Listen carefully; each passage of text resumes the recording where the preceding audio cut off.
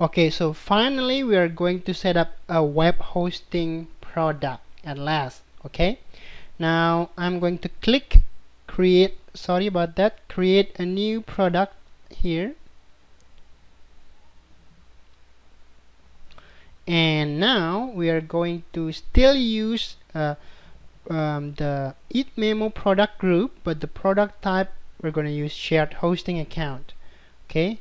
Now here I'm gonna use website presence. Okay? And continue.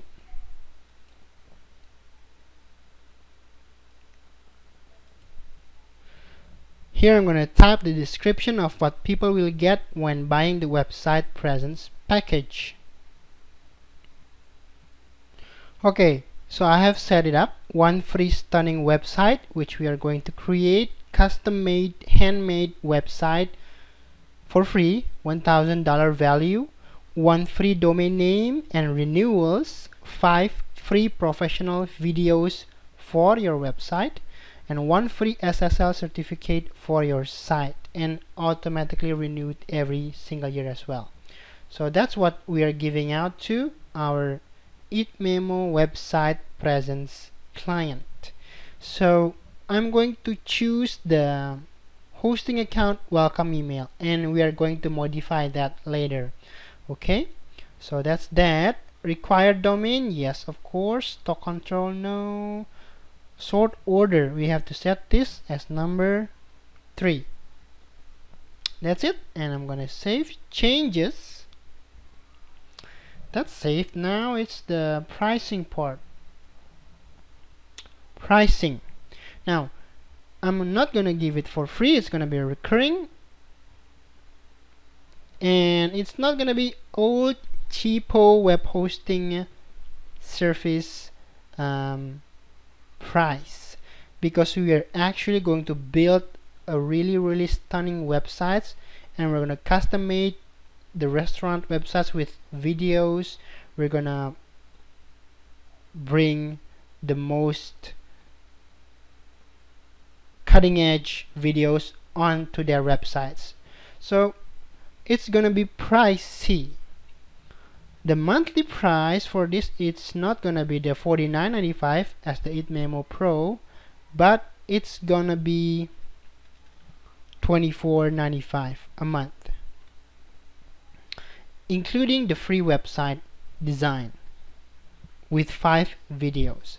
So that is the monthly price with annually we are giving out one month free.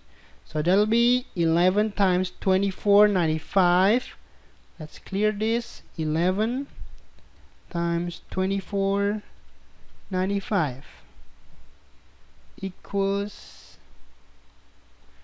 274.45 so we're gonna put that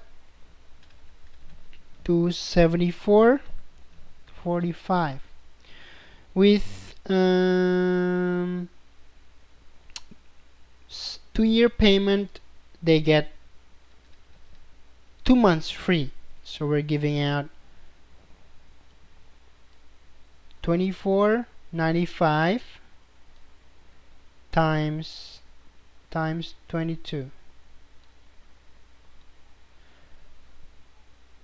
548.9 548.9 dollars. And put all the rest minus 1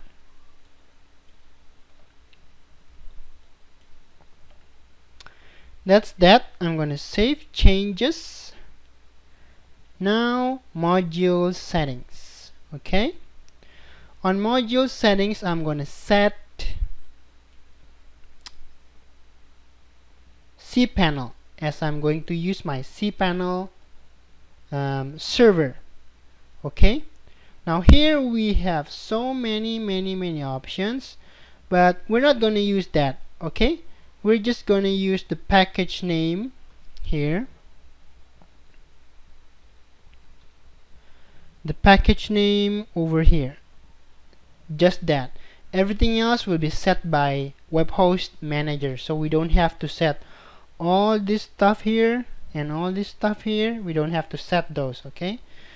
Okay so uh, let's cruise into our web host manager and create the eat memo package. So I'm gonna open up here. Um, let me bring it up okay so this is my web host manager. So I'm going to create a new package which I'm going to name it memo. So let's find packages. Here's packages okay? Let's square that so you can see. Here's packages. Okay we're gonna use the packages. I'm gonna click add new package. Add a package here. And new package name I'm gonna name it eat memo. And quota and everything.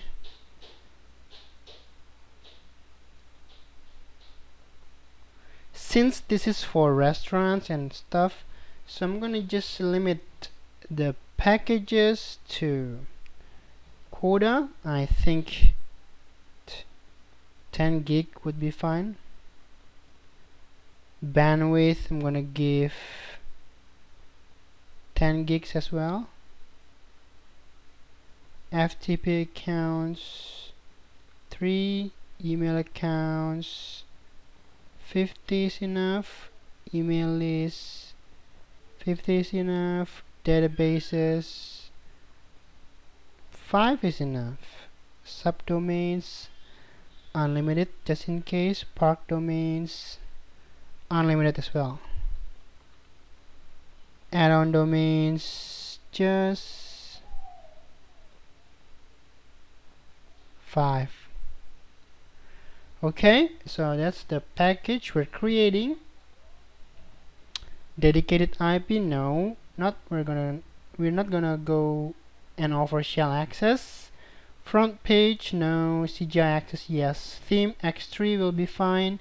Feature list? Default? Local locale? English. And I'm gonna click add. Now we have created the package eat memo. Now is the time to link it to our WHMCS now to do that we're gonna go back here. But before we can actually assign a server see you have no server listed here. Server group is like empty right? Now to do that we have to create a server first. So let's just do that now. So I'm gonna go to the setup menu on the top click servers here servers and I'm gonna add my server.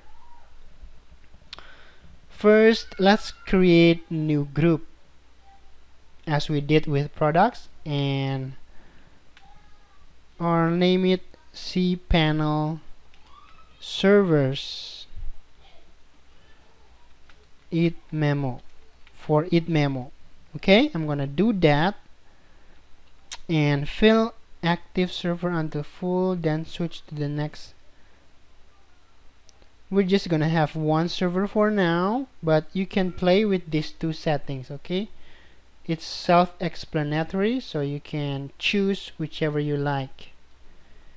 For the field type you want to add to the list full server or fill active server until full then switch to the list. It's up to you so I'm going to choose the default option there and simply save changes